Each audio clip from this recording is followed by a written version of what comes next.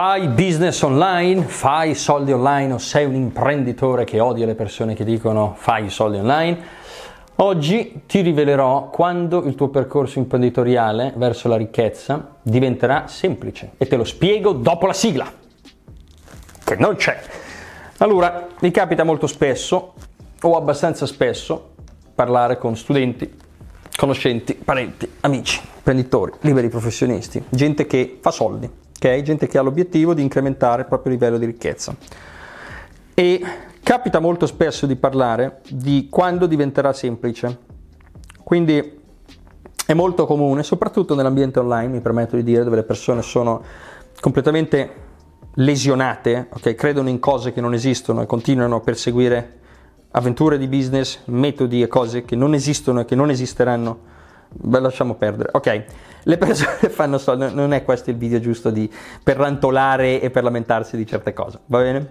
Um, è difficile, le persone scoprono quando fanno online marketing, quando cominciano a dire io voglio vendere qualcosa online a qualcuno, all'inizio si sta molto per aria quando non si ha capito di che cosa si parla, no? eh, voglio fare soldi online, così, laptop, lifestyle, va tutto bene all'inizio, è giusto, giusto pensare a queste cose qua, è giusto fare i primi soldini in qualunque modo etico e magari legale, eh, e soprattutto legale, eh, però Mm, le persone poi ricercano una stabilità, ok? Dicono io voglio stabilizzare, voglio avere le rendite automatiche, voglio guadagnare, eccetera, eccetera. Le persone si rendono conto ben subito e chi non se ne rende conto subito avrà degli enormi problemi dopo, che è un po' più difficile di come è stato paventato uh, da, da, da persone che magari ci, ci, hanno venduto un sogno, persone alle quali ci siamo ispirati, io stesso. No? Ho avuto molte conversazioni con persone che dicono: no, perché tu eri in piscina a fare i live, lo facevi sembrare semplice. A parte il fatto che la mia controrisposta è: ma tu il live l'hai sentito quando io ti dicevo che non è semplice, che la piscina è uno specchietto per le allodole, che devi creare un ecosistema che è dura, che devi metterti soldi? Ma queste cose le hai Ah no, ma io ho visto la piscina. Va bene, ok, perfetto. Mettiamoli dentro tutti, perfetto. Um, quando diventerà semplice? La risposta è mai. Ok? Io ho fatto un, un corso, eh, un corso intervista si può dire, con il mio mentore Dan Kennedy, quello che vedete raffigurato nel protocollo Kennedy, ok? Abbiamo fatto il protocollo Kennedy insieme, eh, vabbè. In un corso che abbiamo fatto insieme che si chiama Pregiudizio, come manipolare i tuoi clienti, che è stato dato come bonus a chi è venuto all'evento uh, di, di febbraio di Riccione sulla manipolazione mentale, è stato un evento stratosferico con gli ologrammi, eccetera, eccetera. Dan non è potuto venire perché poverino stava morendo, adesso sta meglio. Sono venuti i suoi migliori studenti dall'America, abbiamo avuto tre eh, top studenti incredibili e insieme a, a me abbiamo parlato per tre giorni di manipolazione mentale. Vabbè. Uh, chi aveva comprato i biglietti durante il primo lancio, avevamo venduto tantissimi biglietti, 320 se non mi ricordo male, qualcosa di, di simile ex lancio più grosso d'Europa che poi abbiamo, abbiamo rifatto col Papi sono io che invece era di gennaio. Um, un, un, record anche, anche maggiore. Il, il, lancio per l'evento di febbraio era stato fatto l'anno prima a giugno. Uh, ma lasciamo perdere tutte queste cose. Dan dice che uno dei suoi mentori, lui aveva chiesto a uno dei suoi mentori, quando diventerà facile questa roba qua? E il mentore gli ha risposto, it's not supposed to be easy. Cioè non deve essere facile.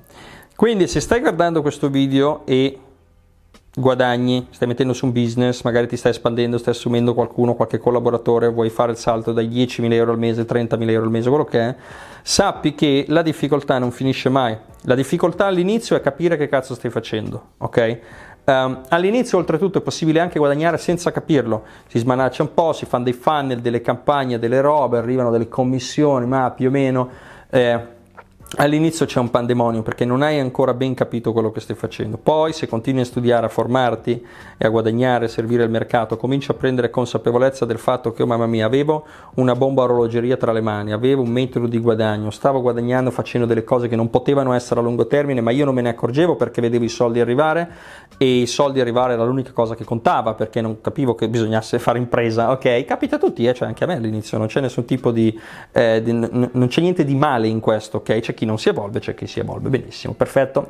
Um, E poi la difficoltà diventa per esempio la gestione delle persone, la costruzione di un'azienda, la costruzione di varie linee, prodotti e servizi, la continua monetizzazione del mercato, il capire cosa fare con i propri soldi, il capire di chi fidarsi, di chi non fidarsi, il capire come investire, poi quando investi e, e, e sei milionario o multimilionario, come non perdere il patrimonio, come proteggerlo, eh, come bilanciarlo, eccetera, eccetera. Quindi la difficoltà non finisce mai. Nella mia esperienza non sarete mai in una condizione in cui potete non pensare a nulla. Eh, Forse le persone che possono non pensare a nulla sono le persone o che hanno venduto la loro azienda per 50 o 100 milioni, non ce li hanno neanche investiti, ce li hanno in cash. Ci sono queste persone. Quindi non devono neanche pensare a cosa stia facendo la borsa immobiliare, non vogliono, c'è l'inflazione, se ne fotte. E pensano a farsi la crociera e basta. Okay? A meno che voi non abbiate questa fortuna, o sfortuna, c'è anche poi chi si suicida perché non c'è niente da fare. Uh, nel momento in cui continuate a fare impresa, a guadagnare, ci sarà sempre un problema, ci sarà sempre un'anomalia, il mercato cambierà. Questa è una delle cose, per esempio, quando all'inizio avete un qualcosa che va bene, se non lo strutturate non capite soprattutto il perché, ci, ci sono, io ho anche studenti che guadagnano, non sanno il perché. E loro sono convinti di essere bravi, eh, non capiscono che c'è una commistione di variabili fortunate, ma non è un demerito vanno sfruttate le variabili fortunate, ma che non capiscono che potrebbero cambiare. Una, per esempio, classica è la competizione. Ho studenti in nicchie con zero o poca competizione, per esempio, e, e io continuo, e alcuni di questi studenti poi si sono trovati in parecchie difficoltà perché arriva la competizione tu non eri preparato a gestirla perché prima non c'era. Ma il fatto che non ci sia è, è culo si può dire, cioè occhio perché poi saltano dentro. Il fatto per esempio che il tuo business o la tua attività sia legata a un trucchettino o a un, un loophole, un, un, un, qualcosina che può essere chiuso, il fatto che tu non abbia controllo sui tuoi prodotti per esempio, che uno possa fare click e privarti dei prodotti che stai vendendo, eh, okay, sono tutte cose che vanno assolutamente gestite, okay, il fatto che tu non sia proprietario dei tuoi asset per esempio, una delle decisioni che abbiamo fatto come Big Luca International è di farci costruire la nostra piattaforma per la fruizione di videocorsi, perché che cosa succede se Kajabi, piattaforma che utilizzavamo prima, decide di buttarci fuori? Uno dice perché dovrebbe buttarci fuori? E perché non dovrebbe? Capitano queste cose. Abbiamo un business multimilionario che va giù? I, i clienti incavolati che non riescono a offrire dei corsi? No, siamo proprietari degli asset, eccetera, eccetera, eccetera. Eh, quindi all'inizio questa è un po' la sfida, poi cominciate ad evolvervi in un'altra bestia, ok, cominciate a evolvere la vostra azienda ed è difficile perché dopo capite quello che state facendo, ma c'è il calo delle vendite, la competizione, eh, le, le, le, magari cominciate ad avere qualche bega legale che prima non avevate, siete più visibili, avete più clienti, più clienti felici e anche più clienti che si lamentano, chiaramente avete una quota di mercato maggiore, quindi la competizione inizia a dire eh, chi cavolo sono questi qua? Quindi se prima... Eh, quando iniziate il, il, tema della competizione è quasi un'illusione, cioè quasi, possono esserci magari c'è una persona di riferimento, voi siete talmente tanto piccoli che non vi caga, voi entrate nel campo della crescita personale eh, in America, magari Anthony Robbins neanche vi vede. Cominciate a prendergli qualche decina di milioni, in quel caso di quota di mercato, beh, le cose potrebbero mettersi in una seria competizione che potreste non vincere o vincere o comunque dovete, dovete fare guerra. Eh, le risorse aziendali, se prima eravate da soli, adesso siete in di più quindi dovete avere un team, come eh, educare il team, come fa, eh, essere un leader, eccetera, eccetera. Quindi ci sono tutta una serie di criticità e quando cercate, soprattutto se siete in crescita, una delle cose fastidiose è che appena avete trovato la quadra vi capita qualcosa che ve la demolisce. Quindi vi siete stabilizzati su, non so, 300.000 euro al mese, porca miseria, cambia una variabile, introducono una legge, vi va via il prodotto, oppure volete provare a fare una cosa e, e ci sono delle variabili... Eh, nuove, delle nuove cose da gestire, posso fare l'esempio anche su di noi. Uh, noi abbiamo fatto due diversi, diversi, eventi, ok? Uno mm, piccolo, 175 persone a Londra, che comunque è stato un record, e poi quello di Riccione, eh, piuttosto ovvio, da, da, 600 persone con gli ologrammi, il palazzetto che impazziva, 3.000 euro a testa di record su record. Ebbene, il gestire per esempio un evento e tutte le dinamiche che stanno dietro un evento è una cosa completamente diversa da gestire un business digitale, molto meglio quello digitale, ehm, è semplicemente però diverso. Noi volevamo portare in Italia la figura di Dan Kennedy, Dan Kennedy non è potuto venire, abbiamo portato gli studenti di Dan Kennedy diretti io tra, tra, tra questi. Ehm, la, la, gestione di un evento, l'economia che gira attorno a un evento, per esempio, è completamente e, e il focus che ci vuole e anche a livello di marketing, per esempio, che ci vuole per un evento è completamente diverso dalla vendita di prodotti digitali o consulenza o coaching o webinar, eccetera, eccetera. Primo tra tutti, l'evento ha una data.